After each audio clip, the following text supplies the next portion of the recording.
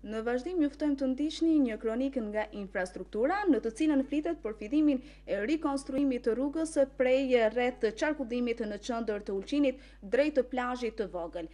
Rikonstruimi i tërësishëm i etapës së parë të kësaj rruge do të kushtojë rreth 600 mijë euro, kurse nga komuna paralajmërojnë se brenda këtij viti do të vazhdohet edhe realizimi i fazës së dytë. Komuna e Ulqinit këtë vit kalendarik e filloi me rikonstruimin e kësaj rruge. Mund të na thuani konkretisht se për çfarë projekti bëhet fjalë? Ky është një projekt që e kena paraparë për vitin e kaluar, për dy mijë e tetë-ën, që bahet një kaldërmimi i kësaj rruge këtu prej rrethit, prej unazit, e vazhdon deri te ku ndahen rrugët që shkojnë për hotelin Mediteran edhe për plazh të vogël. Kjo është faza e parë. Që âsht tu u punu tash, âsht faza e dytë dhe e treta që vazhdon ka Mahalla e Re, te xhamia të kthehet prap te te kafja Bonita Bazar, që bëhet një rreth kështu si, si çarshi, si thonë. Çka parashihet me këtë rikonstruim?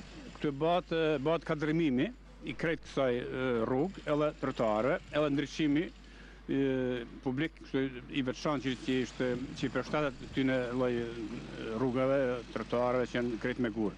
Rrjeti i kanalizimit dhe ujësjellësit? Gjithë bëhet rekonstruimi i ri, komplet. Edhe gjithëve, edhe ujve, kanalizimit, rrymës, të gjitha. Sa do të kushtojë ky projekt? Ky projekt është faza e parë diku me ndriçim rreth 600.000 euro.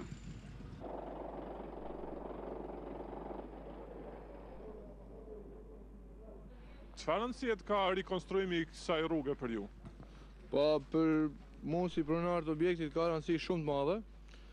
Pikësëpari për arsye që mendoj se do të do të dalë njëfarë njëfarë njëfarë fytyre krejt ndryshe e pazarit.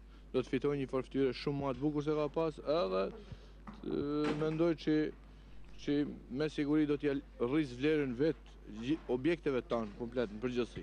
Megjithëse do të keni pengesa të kryeni afarizmin gjatë kësaj kohe të rekonstruimit, ju nuk i kini qitë probleme komunës që ta kryejë këtë punë. Jo, bile, bile, bile këtë punë e kena prit me dëshirë dhe me një vullnet të madh, sa i përket, sa i përket bashkëpunimit me komunë. Edhe kam bindje që kjo do të kryet në afat të caktumun edhe një afat të shkurt, mjaft të shkurt. Megjithëse, duke pas parasysh situatën, ne do të rrimë të do të jemi partner me tanto, mjeshtët, gjithashtu edhe me komunë edhe me Krejt bashkëpunëtorët apo punëtorët që punojnë këtu.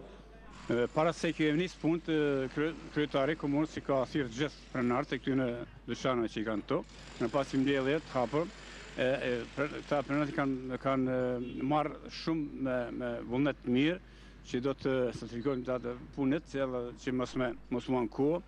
E kanë dëshirë që sa ma parë që të kryhet edhe kanë kënaqësi që gjinden në këtë rreth se ka me qenë një një një një një rrugë, një një çarshi shumë e bukur. Kush i kryen punimet dhe deri kur do të kryhen, sa do të vonojnë?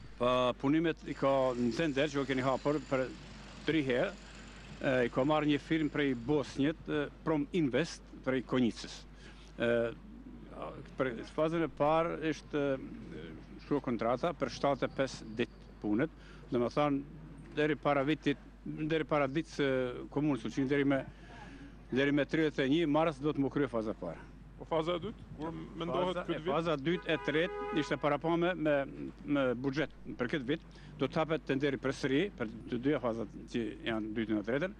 Edhe kena mend që do të vazhdojmë mas veret, ose besoj që se, që se ka mundësi, belada para zabesi ka me kërë mas veret për punë se Si po shihni edhe vetë ka shumë punë punë punë të mëdha, punë të rana që për dislokimin e instalimeve që i ban.